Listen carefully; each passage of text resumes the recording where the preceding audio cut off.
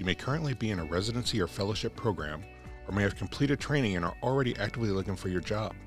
No matter where you are in your search, the 10 job search steps of First Practice can serve as a guide and timeline to help you find your desired opportunities. Step 10 Negotiate your contract. You will want to hire a contract attorney to review your offers before you sign them. You might even find an attorney who specializes in physician contracts.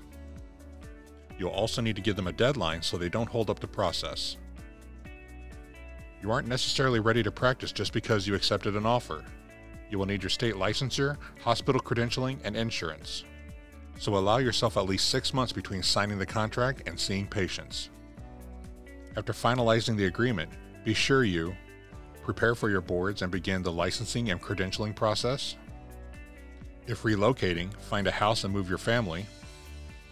Set up and market your new practice. And start practicing. For more resources and help during your job search, visit firstpractice.com.